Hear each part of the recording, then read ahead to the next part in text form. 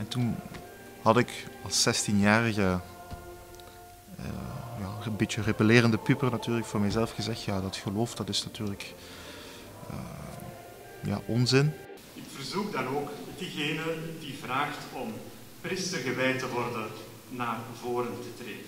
Walter Sijsens. Hier ben ik.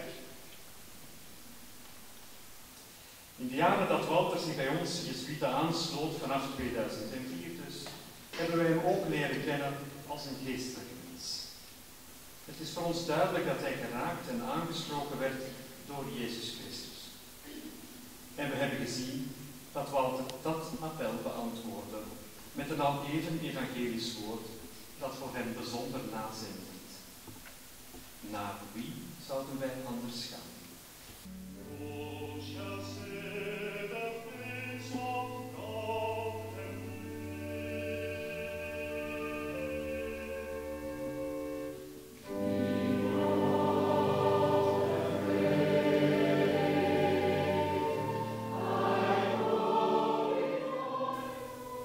Ja, ik, had, ik had eigenlijk ontdekt dat ik meer was dan mijn verstand alleen.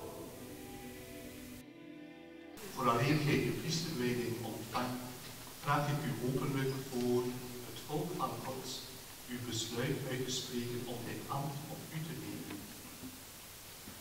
Mag ik u vragen, zijt gij bereid als priester de bisschoppen voor altijd terzijde te staan bij de herderlijke zorg voor het volk van God onder de leiding van de Heilige Geest? Ja, ik ben bereid.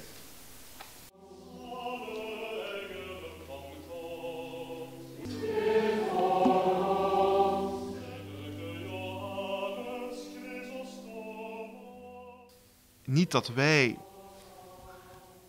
zoals een ladder naar omhoog moeten klimmen, maar God zelf laat een touw naar beneden voor ons.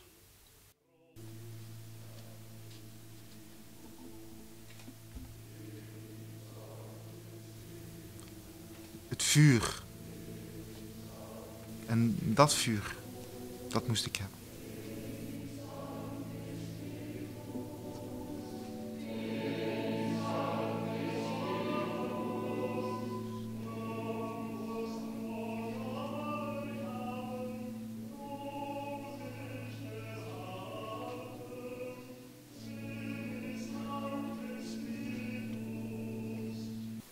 De Heer Jezus, die door de Vader werd gezalfd met de Heilige Geest, u bewaren en bezielen, ons volk te heiligen.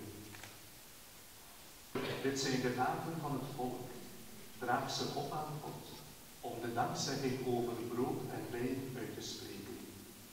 Tracht deze priesterlijke taak trouw en van harte te vervullen.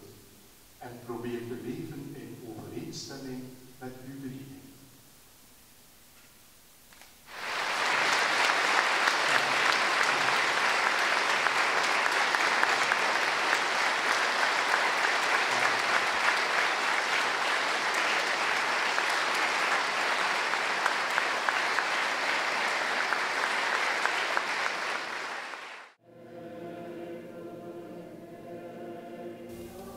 Ja, ik moest nog verder gaan en uiteindelijk. Het moest meer zijn dan dat en dan toch, toch weer het geloof. Hè. Toch weer God zelf, toch weer Jezus. Maar een aandacht voor wat er in de ervaring gebeurt als mensen op zoek zijn naar het goede leven, naar God, naar wat Jezus Christus voor hen kan betekenen.